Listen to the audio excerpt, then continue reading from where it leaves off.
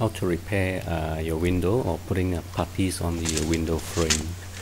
Uh, I'm, I'm using linseed oil putty. It's a small little container. Um, easily get it in a hardware shop.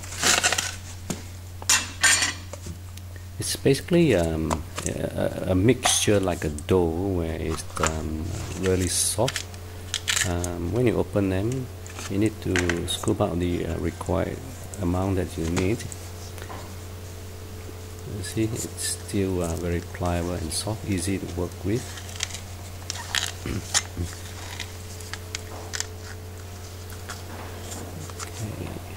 that should be um, enough. If it's not enough you can always um, scrape, scrape off more.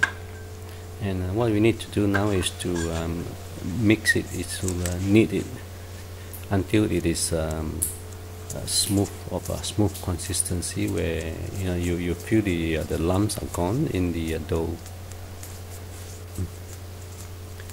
Let's just keep mixing until you feel that it is really smooth. And when it's smooth it is then uh, ready to apply.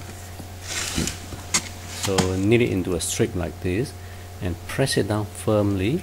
Remove as much air bubble as possible from the um, inside so don't uh, apply too much in one go just um, just a little bit at a time. And then you can build up the uh, quantity as you go along. So that to, to minimize the amount of bubbles um, that get trapped inside. So you just keep pressing. And, and uh, keep pressing.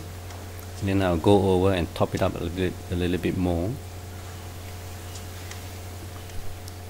Yep keep pressing down until you feel that there is enough quantity in there.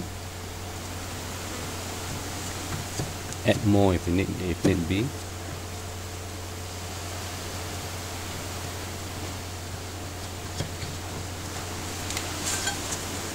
So now use a scraper press it down firmly and slice it along with the correct angle that you want the uh, window uh, seal to be.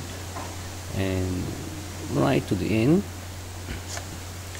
And then what uh, you need to do now is just to uh, gently uh, scrape off the excess. The excess can be um, you, you can actually put it back into the uh, container for for future use.